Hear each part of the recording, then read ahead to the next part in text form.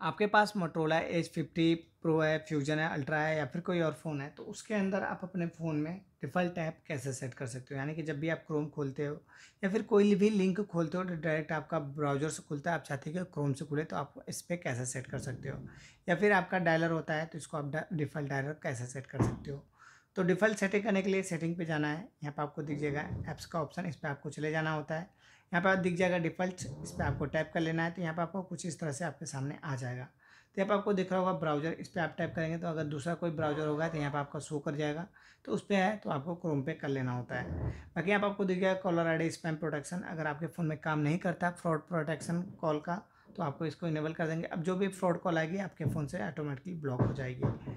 बाकी ये होता है फ़ोन का, यानी कि अगर दो डायलर कर रखा होगा तो यहाँ पर आपका दोनों डायलर शो कर जाएगा। तो कुछ इस तरह से आप अपने फ़ोन में कर लेंगे सेट।